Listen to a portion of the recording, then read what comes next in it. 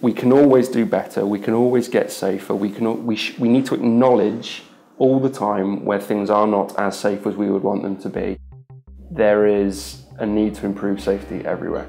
It's not just about isolated pockets. Actually, everybody can do better. Uh, Berwick took that and gave it a framework. He's got a great little phrase. It's that everyone has two jobs. They have their job and they have the job of improving their job.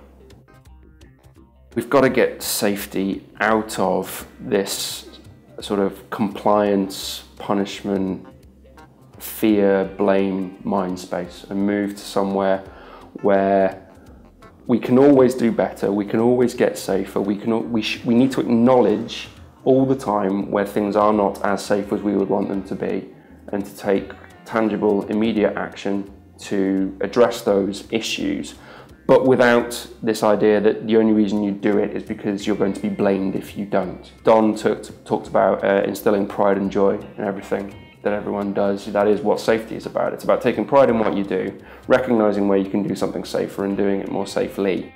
The, the key learning in his report was for us to um, instill a culture of continuous learning and improvement within the NHS. And in effect, the collaboratives are a, are a mechanism, a way of pump priming that.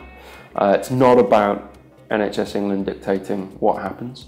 It's about NHS England supporting collaboratives in every part of England to identify what is important to them, what is important to their patients, what are the things that they need to improve on, and to give them the support, infrastructure, bit of money in order to allow them to undertake that improvement work and to give them the skills that they need to undertake that improvement work. Um, and then when they've done something good, when they've identified a, an intervention that's made a real difference to their patients, making sure everybody else knows about it as well. So that kind of knowledge transfer. Going to the gym, um, eating well, uh, being happy.